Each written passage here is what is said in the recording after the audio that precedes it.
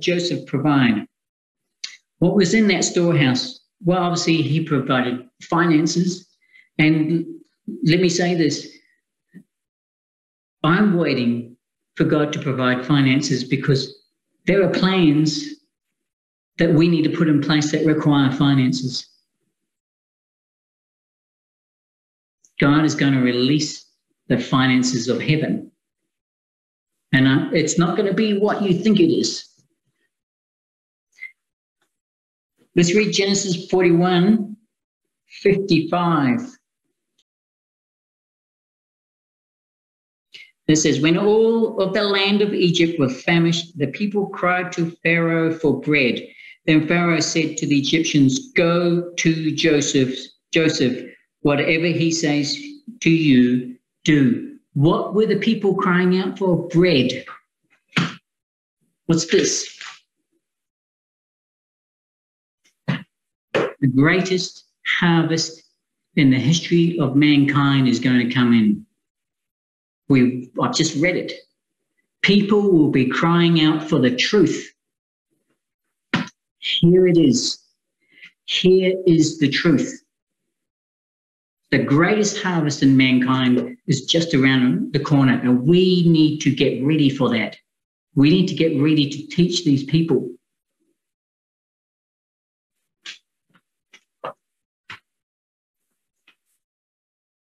Genesis 41, 39 to 40. And then Pharaoh said to Joseph, Inasmuch as God has shown you all this, there is no one as discerning and wise as you. Did you get that? Wisdom. You shall be over my house, and all the people shall be ruled according to your word. Only in regard of the throne will I be greater than you. This is a picture of the man child. He's going to be given authority to rule. We read about it in Revelation.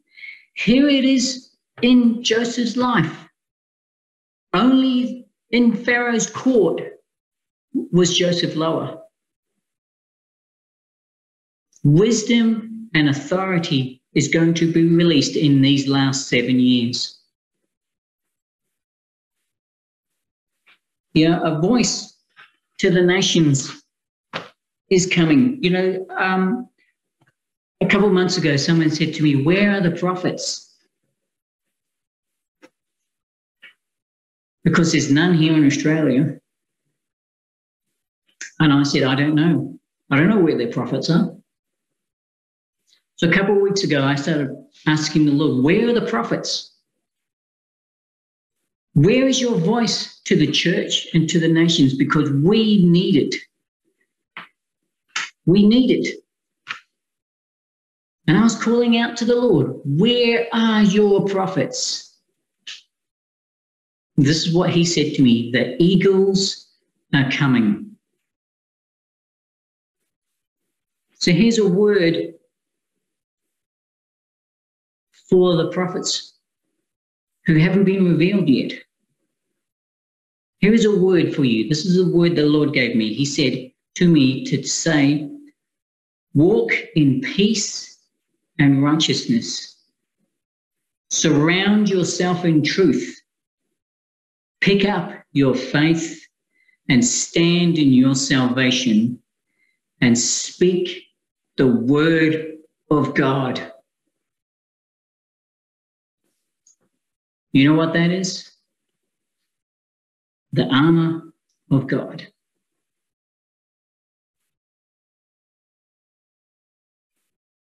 The eagles are coming. Get ready.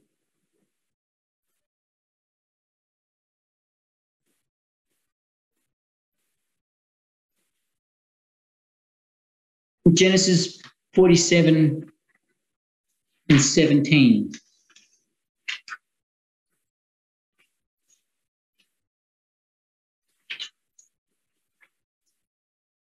It says this so the people brought their livestock to Joseph, and Joseph gave them bread in exchange for their horses and their flock, the cattle of the herds and the donkeys, Thus he fed them with bread in exchange for all their livestock that year.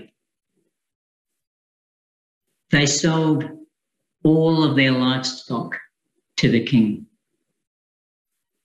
They gave it all to him. For what? The word of God. Bread. Is the word of God not bread? We shall live by the, the word of God alone. God is calling us to sell all your livestock in exchange for the word of God. We've got to surrender it all. We have got to become slaves. And this is exactly what happened. Um,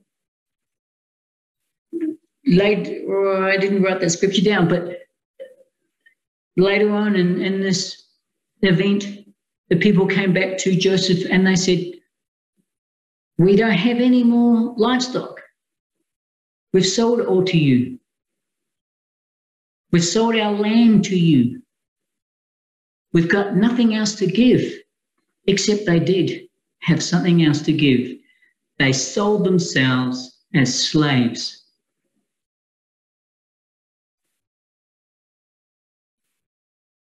God wants to, you to sell yourself as a slave to God we need to give him everything. And as when we are in that position where we have nothing, God can then go, I can help you. What happened to Joseph? He became a slave, had nothing. Then God was able to help him. You know, I see so many people who think they're going to survive this by their own skills, their, their own preparations. And I'm not against skills and preparations.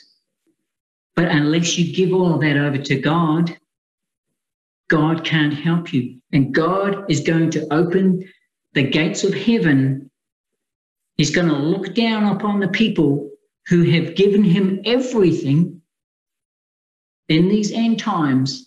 And he's going to say, you gave me everything. Now I'm going to come true for you.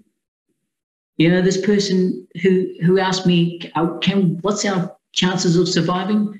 I said to her, it's, you know, God is going to look at your heart.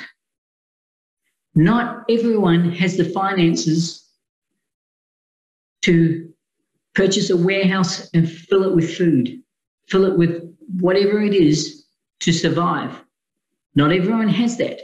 Some people may just have a pantry because they live in a city, they can't, there's no way out for them.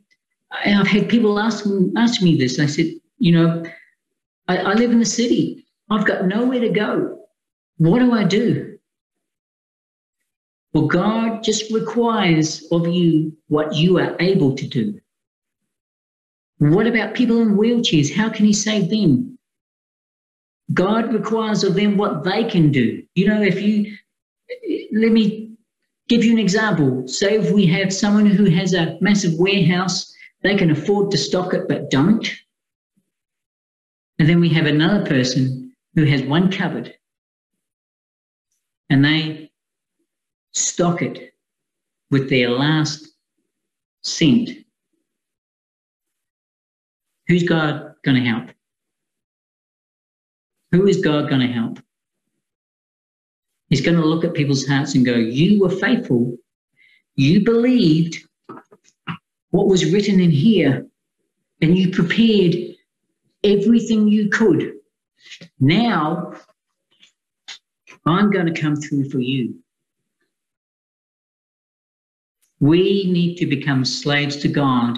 Then we can become his sons and daughters just like Joseph became.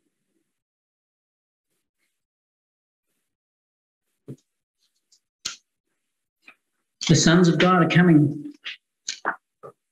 The sons of God are coming.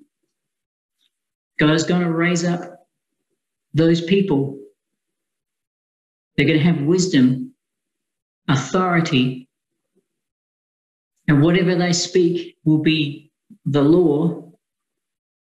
Whatever word they say to the nation will come true. If they say to a nation, you've got to stop what you're doing, if you don't, God is going to come on the scene and deal with you. These people are being raised up. God is going to raise up these people. And I tell you, when God comes on the scene, it will put the fear of God into these nations. Because, and we need the fear of God. We need the fear of God in Australia like never before. Yeah, Australia is at a tipping point. And we need to pray for Australia. All Australians, you need to be praying for Australia. We are at a tipping point. We need the word of God for Australia. And you need the word of God for whatever nation you are in.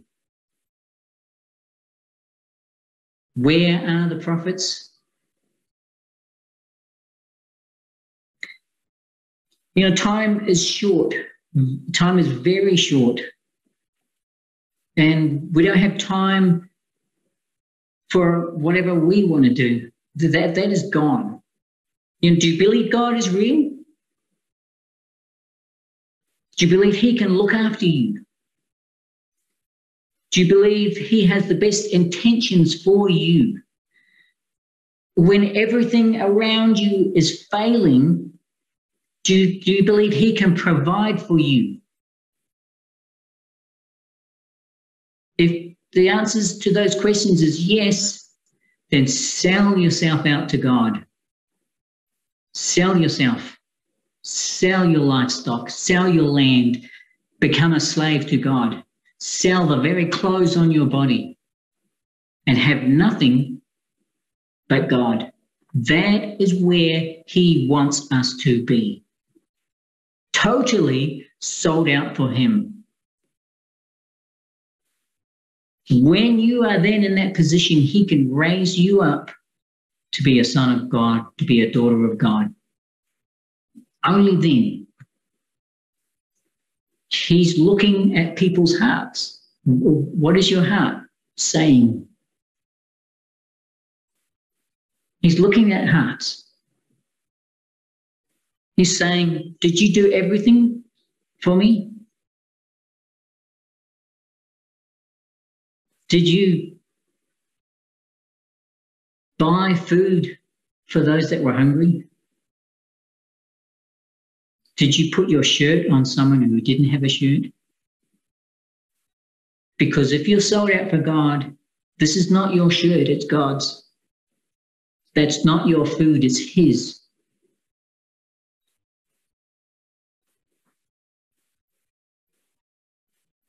You know, not everyone will have resources in the end times. It's just not going to happen.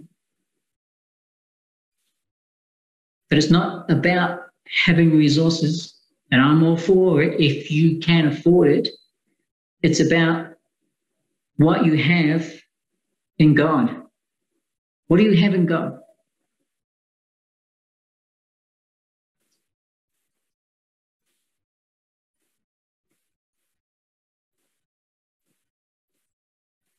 You know, this world is just full of lies, full of deceit, full of deception. This world wants to kill you. And over this past week, you know, I, I said last time I spoke, stop watching the news, it's full of lies, it's full of propaganda. Well, just in this past week, I've seen events play out with my own eyes, only to watch it on the news that night totally reversed, totally lied about. And I, I was shocked, but I'm thinking, why am I shocked? I know this is happening. And a friend of mine said, it's because you witnessed it firsthand. And then you see the lies on television. This world is, is you know, it's Satan's right now, but it won't be forever. And all he will do is lie, steal, and kill. We need to turn our eyes to God like there is no tomorrow. We need to get on our hands and knees. We need to pray for our nations because they're turning into rot. We need to sell ourselves out to God and go, God, you've got to speak. You've got to speak.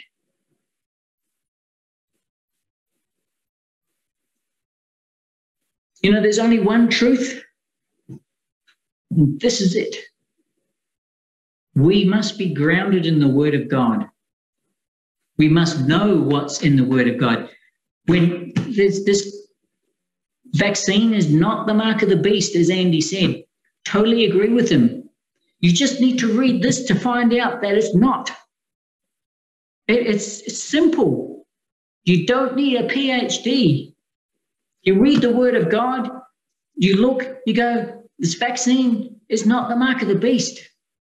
Get over it.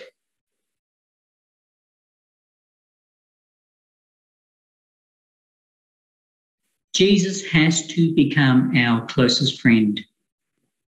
We need to hear the voice of the Holy Spirit for our personal lives like never before. You know, I'm having people, I'm having people come to me and they're going, We don't know what to do. Help me. And I'm having to say to them, You need first and foremost, Jesus in your life, first and foremost. I'm seeing growing men almost coming to tears in fear of what is happening. And I said, You need Jesus. He is the only way. I'm giving the gospel message more now than ever in all my life. Because Jesus is the only answer. And I'm teaching people how to hear from the Lord, how to see the Lord. And I said, You need to be able to do this. If you cannot hear the Holy Spirit, if you cannot hear the inner witness of the Holy Spirit, you need to start praying seriously and asking for clarity so you can hear the Holy Spirit. You need to be able to see Jesus like never before. Yeah, I said to this person, I gave them um, just some simple instructions on how to begin seeing in the Spirit. And I said to them, Look, Jesus is sitting over here. How do I know he's sitting over there? Well, one, the word of God says, when there are two or three gathered in his name, he is there. So Jesus is here. And now I just tune into the to um, the spiritual realm, tune into the frequency of Jesus, and I can see him. And I said to them, I can also see angels, one to my left and one to my right. I said, You need to be able to do this. You need to be able to see Jesus and look where he is and follow him. You need to be able to hear the voice of the Holy Spirit that says, Get up, Get up. I need to speak. You need to hear what I have to say. There is no time left. These last seven years are right upon us. And God is looking for the man child. God is looking for sons of God who will be able to speak his voice, who will be able to walk in power and authority in these last days. These are, you know, I'm excited. I am excited. Bring on the last seven years. Bring it on. Because God is going to show the world who he is. And I'm going to be standing right next to him. I'm, I'm on your side, God. I'm with you. I'm with you. But we need we need to get into this. We need to know the word of God. You need to know where you are. And people think we're somewhere where we're not because they don't know the word of God.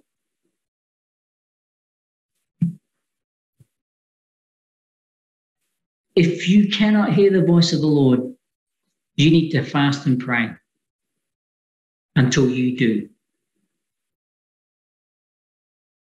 If you cannot see the Lord, then you need to fast and pray until you do.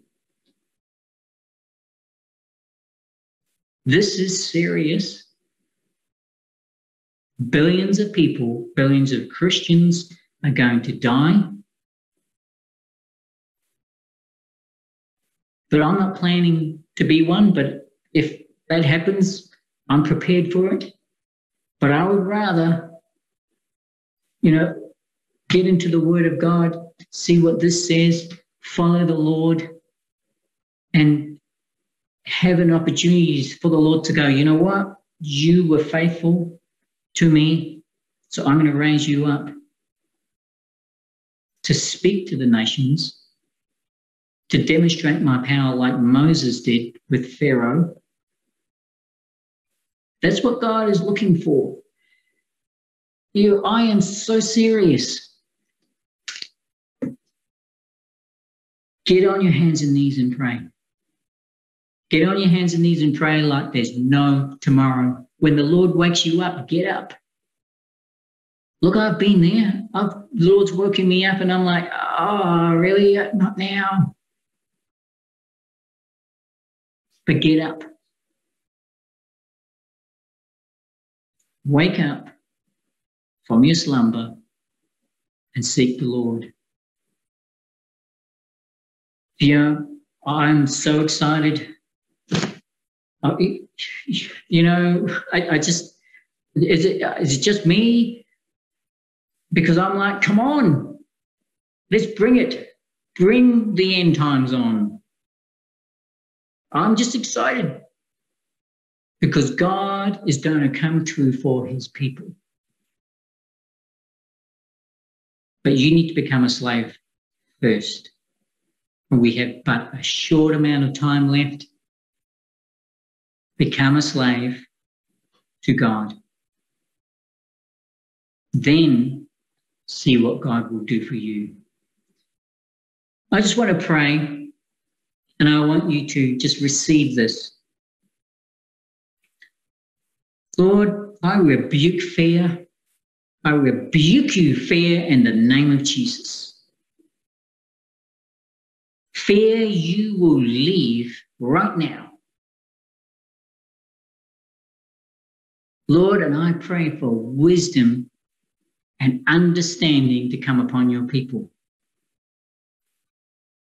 Wisdom and understanding. Lord, I pray for a hunger for your word to come upon everybody who is listening to this, a hunger for your word like they have never had before.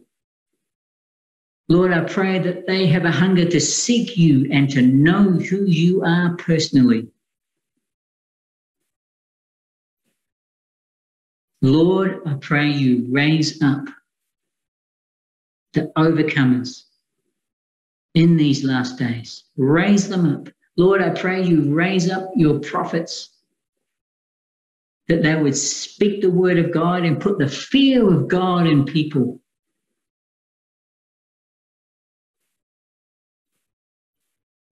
Just receive that right now. Receive that. Receive a hunger like you've never received before from God, a love for God like we first had when we first came to Him. Ignite that flame within us, Lord, I pray. Ignite that flame. Let us burn for you. Lord, and I pray that you would give people a boldness to speak your gospel. Unashamedly speak your gospel. because this world, this dying world, needs your gospel. Give us a boldness, I pray. Give us a boldness to stand when all else is failing. And I thank you, Lord. I thank you. You called me to be with you. You called me to be on your side. I thank you, Lord. And I will stand on your side until the end, whatever end that may be. I thank you, Lord, that you called me. You called me a sinner with wretched rags around me. You called me and you loved me. Thank you so much, Lord. Thank you for that. Mm. Amen.